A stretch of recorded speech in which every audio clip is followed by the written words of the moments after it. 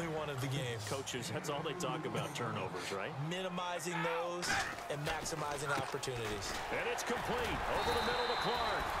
And he'll be brought down right around the 37. A nice pickup there, 10 yards, and it'll move the sticks. Obviously, this has not been a banner game throwing the football. So what you got to do, you got to kind of down focus, don't you think? Find the tight end, take some easier completions. The interception last drive. There he hits the reliable target. Give him nine there on the first down completion. One thing I can say pretty safely, that route is not called if you don't have a guy who can throw the ball and put some mustard on it. Because if you're going to lollipop it in the middle of the field, bad things usually happen. It takes a strong-arm guy who can rifle it in there, and they were able to successfully complete that one. And he'll be out of bounds, able to take it down to the 40. A really nice pickup of 14 yards, and it moves the sticks. And when an offense is doing a nice job selling the play-action pass, a lot of responsibility shifts to the linebackers. They're the ones have to determine run or pass and get to the proper places on the field. Throw left side, completion to Rice. And he's going to get this down near the 20-yard line. They'll get 19 yards there. And it'll give the Patriots a first down.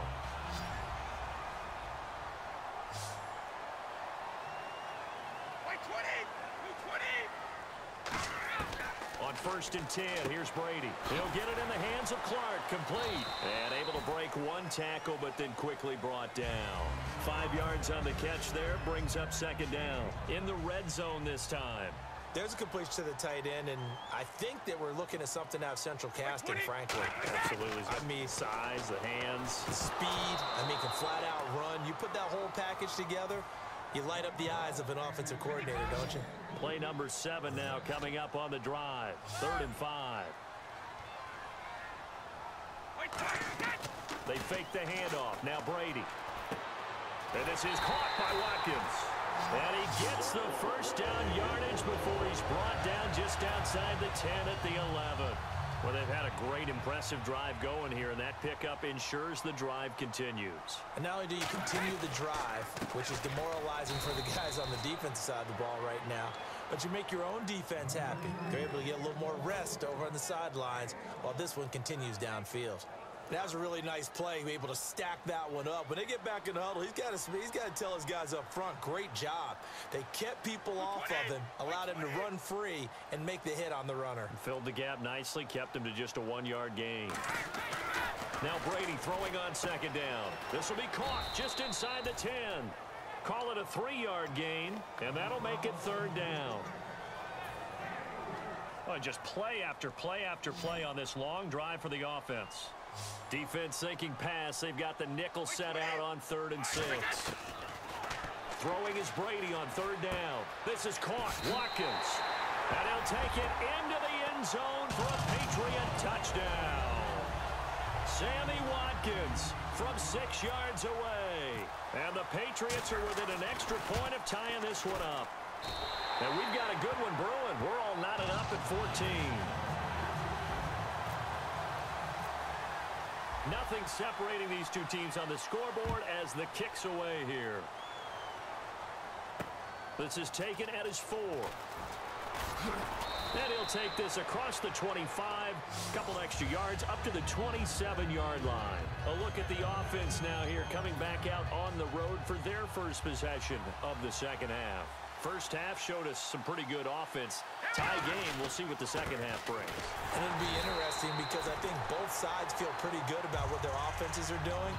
Got to wonder what adjustments are being made defensively to try and get a spark and maybe slow down the other side. But here, do you change up anything on this opening drive? Not offensively, you don't. You got everything going your way. You're probably prepared for maybe some change-ups you might expect, but overall, you like what your game plan's showing you. Will Fuller was the intended target, and that takes us from second to third down. It looked like they had something there, but I think that he was thinking about running with the football before he actually hauled it in, and that led to a big drop. And it looks like we've got a dime set here defensively. Six DBs in the game. Here's Hoyer. Fuller brings it in over the middle. And he will have first down yardage as he's brought down at the 41. 17 yards on the pickup there. The drive will continue. It's a first down. Back now in Foxborough. All even as we get ready to start the fourth.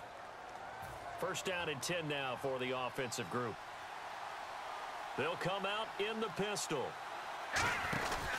Now a first down carry. It's Hill. And very little daylight there. He'll get a couple up to the 44. Two Patriots there to bring him down. Partner, we know today's NFL is really built around the guy throwing the football. But these short runs, they still pay dividends because they can take their toll on a defense and they can add up as the game goes along. You control the clock, you control the ball, and that way you often control the game. They were looking to get it to Kelvin Benjamin there. Third down here. And the offense looking to pick up the first down after the second down incompletion. So third and seven and an extra defensive back on the field here. Definitely want to play coverage here. Complete. He finds Bray. And he'll be taken down, but not before getting this inside the 30. A big play that time on the catch and run. And the Patriots will get a new set of downs. Now Hoyer. It's Cruz left side. Just a yard on the catch there. It'll be second and nine. Now we're going to get a timeout here called by the Patriots.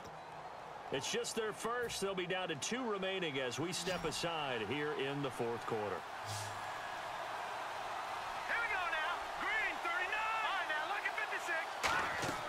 Hoyer. And that one got tipped. Kind of threw everything off. It brings up third. That's a really fine play there because anytime you see a comeback route, that means you cannot just stay in one spot and make a play on the ball. You've got to move your feet and move with the receiver, and that's exactly what he did. They're going to look to throw. It's complete right side to Benjamin. They get only four that time as that leads us to a fourth down. Receivers love having the reputation of being go-to guys on third down, and he was fighting like he really wanted to have that reputation, didn't he? I mean, he came very close to making that a first down. Broke the one tackle, but couldn't spring himself free. So in the end, they had the ball for 10 plays, but the drive only yields three points. Yeah, they were able to move the football, but the defense stiffened once their backs were to the end zone, and they were able to hold them to just three. Here's Cooks on the return. And he'll take it past the 25 and up to the 28-yard line. And the Patriots gearing up to go now. And that last drive, a long drive, but not just that. They had a great air attack going. Do they stick with that? I would think that they would because if they were confident enough to do it on the last drive, starting backed up in their own territory, why would you change anything? They've got to be confident about what they're presenting and continue to do so. Yeah, because the secondary, they really look clueless. And that was amazing because that drive went and went, no adjustments, and no big plays by the defense to knock the ball away. Throw left side, completion to Rice. Give him 27 yards that time. And it gives the Pats a first down. And at this stage, down in the second half, looks like they just wanted to find a way to get it in the hands of their playmaker, and they did. I think you're exactly right. I don't think the coordinator's looking at his play sheet and trying to figure out which play will work well. He's trying to figure out how to get the ball to the playmaker that you just described. Looking down at that sheet, you find people plays, not necessarily X's and O's, and that's exactly what they did there. Time for a break. We're back to see what happens after this.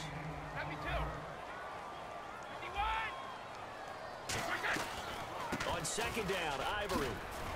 And he'll push his way up to about the 14. Still a couple yards short of the first as the three-yard gain brings up a third down. We always like to talk about defense in terms of levels. First level defensive line, second level linebackers, third level defensive backs.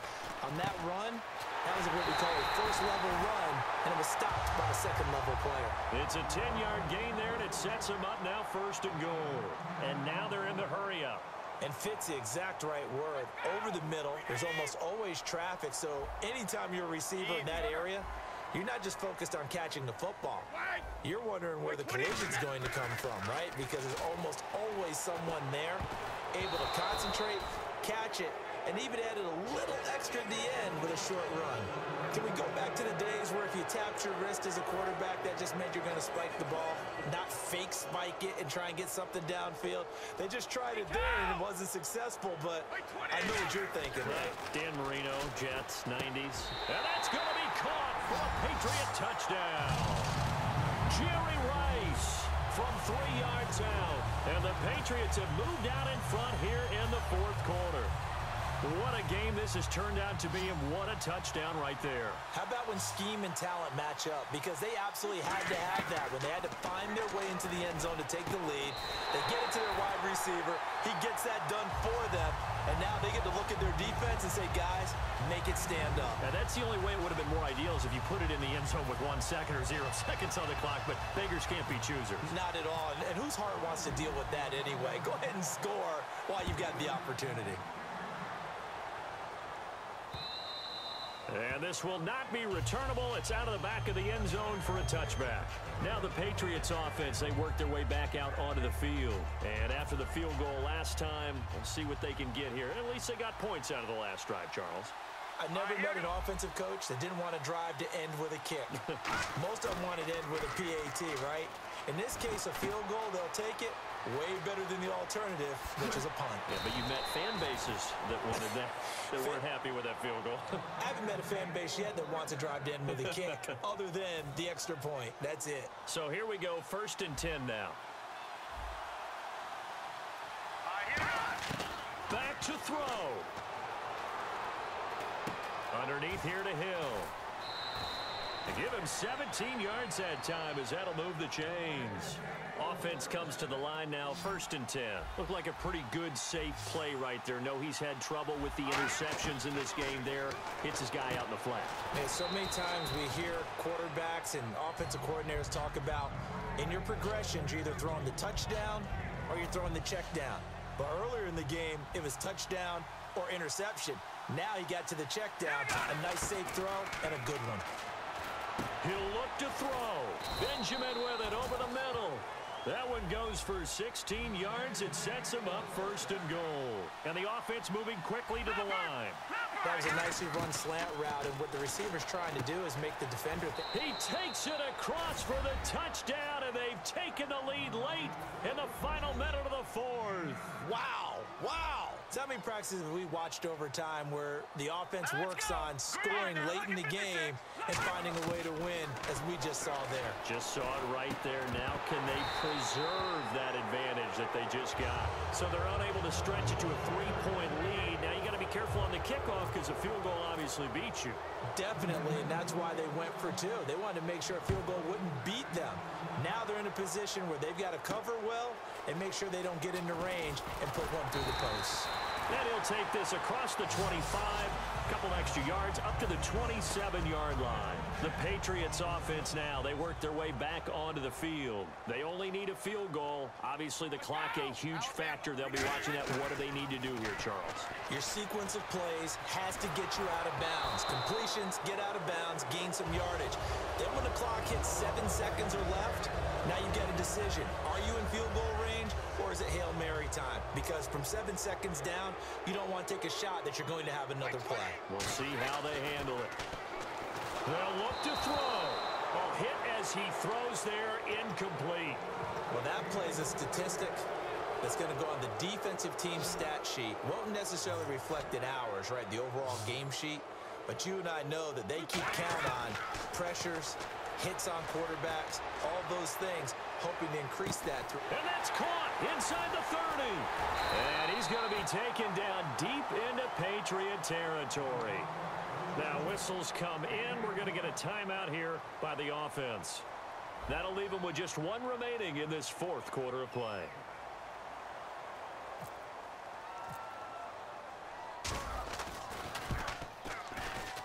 And his kick here is good. And it's celebration time on that sideline as they have taken the lead in the final seconds. So it's not quite over yet, but you have to figure they pretty well got this one on ice now. And Brandon, I can't help but marvel at how calm these field goal kickers seem to be in situations like this. You know I'm shaking up here like a leaf, and I don't have to kick it. the Patriot offense now set to come back out onto the field. Look at the clock. Everyone knows the situation. Probably time here for one final play. And we know what that play is going to be. It's got to be some sort of Hail Mary, throwing it towards the end zone and hoping someone can catch it or catch it off of a tip. Thinking back to 2015, didn't we see Green Bay pull that off Yep, twice in the season? Once in the regular season, once in the playoffs. So stranger things have happened.